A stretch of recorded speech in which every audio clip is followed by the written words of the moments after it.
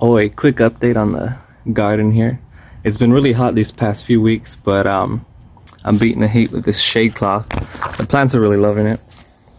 Now here's an update on how my new Sarracenia meerkat mob is doing. Just love the look on those huge pitchers right there. Let's get a look inside. It's funny because the traps with the bigger pitchers don't seem to catch a lot of insects, but the ones with the little mini pitchers, like this Dana's Delight, catch a ton of little insects in there. We got a little fly here wandering in dangerous territory. An update on my veggie garden. The veggies are doing okay, but it's been really hot for them. So this shade cloth has really been coming in handy. The kale's almost ready to be harvested for its seeds. When the seeds get all brown, I'm going to cut them off and then just shake them out. But something weird just happened.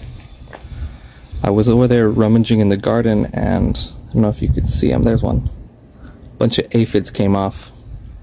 Probably from the, the kale over here. So what I'm going to do is I'm going to spray all these plants with the power hose to get them all off.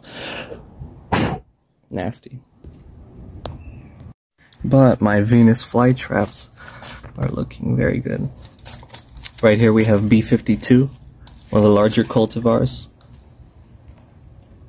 I love the way it's getting with the red. But something weird happened. I don't know what it caught, but let me know down below in the comments what you guys think it caught, but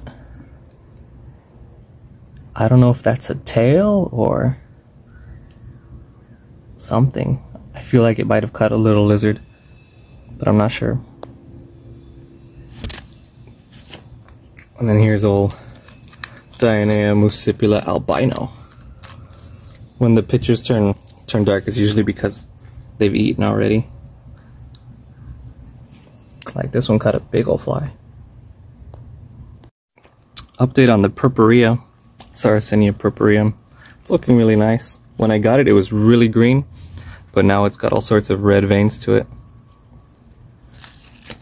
This is one of my favorites. And then Ring of Fire's gotten a little more green because of the shade cloth, but it's still doing nicely.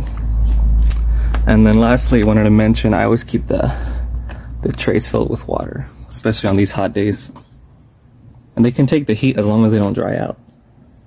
And the greenhouse has been really hot too, so what I've done is the old shade cloth has been there and the grapevines grow over it to give it some shade.